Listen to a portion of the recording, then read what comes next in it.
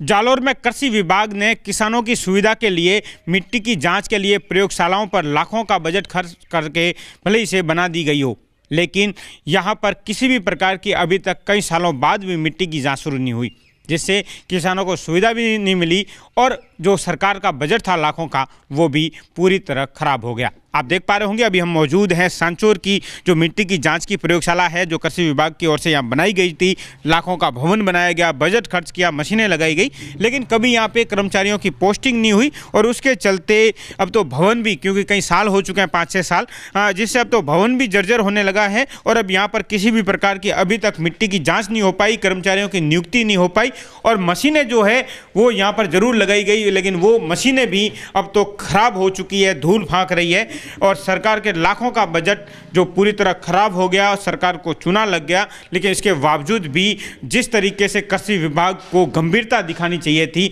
वो गंभीरता दिखा नहीं पाए, और आखिरकार ये जो किसानों को सुविधा देने के जो वादे और जो योजना बनाई गई थी प्रयोगशाला, जो मिट्टी की जाँच की, वो पूरी तरह फेल हो गई, और उपखंड मुख्यालयों पर उसके जो हाल हैं, वो आप देख पा रहे होंगे कि भवन भी जर्जर हो गया है, और यहाँ जो संसाधन थे, मिट्टी की जाँच के लिए केमिकल और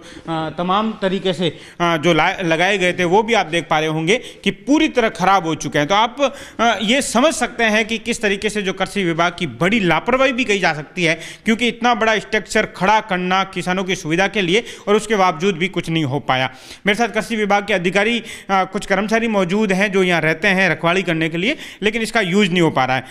आप किस पोस्ट पे हैं और इसे कितने साल हो गए? क्यों इसका उपयोग नहीं हो पाया? 2016 से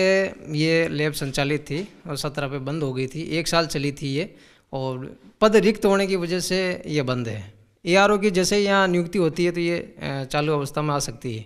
ए के पद रिक्त होने के कारण पूरे जालौर में तीन लैब है। एक तो प्रॉपर जालौर में है, एक बीनमाल में है, एक सांचौर में। सांचौर, बीनमाल दोनों की बंद है, जालौर की चालू वहाँ क्योंकि एआरओ पोस्टेड है। एआरओ पोस्टेड होने के बाद ही एआरओ इस पर रिसर्च पे काम कर पाते हैं, बाकी जाँच कराना संभव नहीं है। मैं सहायक कृषि अधिकारी सांचौर, उदयलाल गाडरी मेरे चार्ज में है ये सांचौर की लैब सारे उपकरण। मुझे भी इस हफ़्ते में दो बार यहाँ रुकना पड़ता है, रुखवाली करनी पड़ती है। तो रखवाली ज़रूर की जाती है, लेकिन यहाँ कहा जा सकता है कि एक बड़ी लापरवाही है कृषि विभाग की कि जो किसानों को सुविधा मिलनी चाहिए थी, उपखंड मुख्यालयों पर जो लैब बनाई गई, एक प्रयोगशाला जिसमें मिट्टी की जाँच और जिसके तहत किसानों को उसकी सुविधा मिलने से उसके जो खेत की जो मिट्टी है, उसका पता लगा जाए कि वो कितनी क्वालिटी की है, किस तरीके की और उसमें क्या पैदावार की जा सकती है। लेकिन ये जो सुविधा किसानों को मिलनी चाहिए थी, वो मिल नहीं पाई और अब जो ये भवन है, वो धूल फाँक रहे हैं, जर्जर हो गए हैं, मशीनें खराब हो गई है और दोनों उपखंड मुख्यालय भीन इस्तेमाल की बात हो या सांचोर की, दोनों जगह ये लैब है जो प्रयोगशालाएँ, वो पूरी तरह बंद पड़ी है। उम्मीद है कृषि विभाग जागेगा, कृषि विभाग के अधिकारी कुंभकर्णी नींद से जागेंगे और एक बड़ा एक्शन या एक बड़ी आगे बढ़कर कदम उठाएँगे ताकि ये वापस सुचारू रूप से चल सके और किसानों को इसका फ़ायदा मिल सके।